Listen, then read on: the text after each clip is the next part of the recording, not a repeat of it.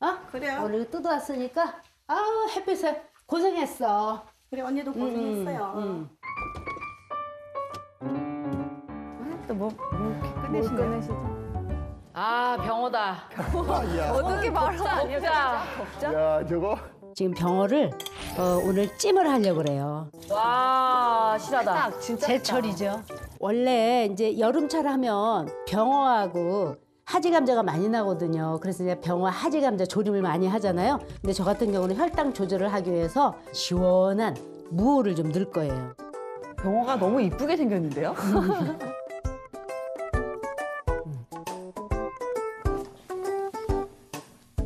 언니 병원 일은 다 끝났어? 아니야 지금 맛있게 끓고 있으니까 응. 어 그럼 우리 언니 묵사발이나 무쳐 먹자. 아이 좋아 좋아 좋아. 어우 잘 쑤셨다.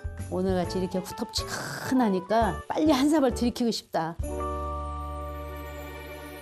와.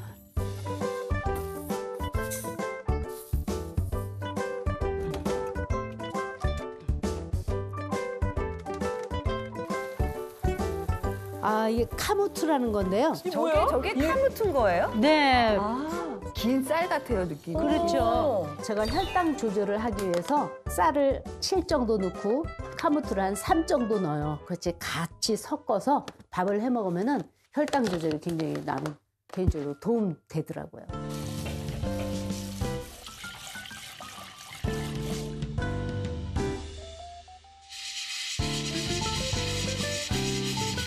이야 세상에 어머 나는 갓 지은 밥이 제일 맛있더라. 어머.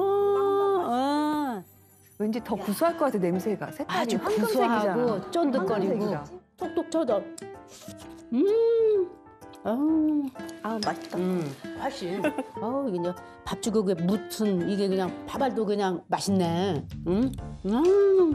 저희 그 아버지가 그 당이 굉장히 심하셨어요. 저희 어머니도 심하셨고, 근데 특히 이제 우리 아버지 같은 경우는 흰쌀밥이나 이런 탄수화물을 너무 좋아하셔가지고 당에 많이 힘들어 하셨거든요. 그래서 저도 이제 그런 가족력이 있기 때문에 카무트를 한번 밤 넣어서 저 먹어 보니까 어, 너무 좋은 거예요. 내가 딸한테 사달라 그랬더니 음. 인터넷 쳐가지고 조그만 거 하나 사 보냈더라고. 근데 다 먹었어. 아 그래? 응. 음. 나 이런 게 좋더라고. 그래? 응, 딸내미도 혈당이 있으니까 먹여야 되겠다. 아 그래? 잘 됐다. 임, 임신 당, 당뇨. 임신 당뇨? 응. 임신 당뇨가 그래 있어요? 원래 평소에 당 없던 분도 임신했을 때 당뇨가 되는 돼서 아기 날 때까지 관리하는 엄마들 많아요. 아, 진짜요? 맞습니다. 또 그거는 그런 그냥 오, 는 거더라고. 예 임신성 당뇨병을 겪은 분들은요 나중에 거의 100% 가깝게 당뇨병이 생깁니다. 아 그래요? 예, 그래서 관리를 철저하게 해야 됩니다.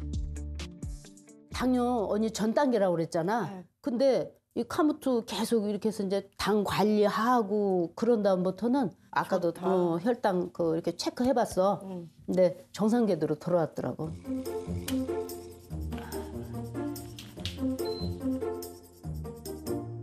93이면 뭐 뭐예요? 괜찮은 거 그러면? 아니에요? 아 정상이죠. 아, 원래 그렇죠. 원래 저러서 109였는데 93으로 내려갔네요. 네.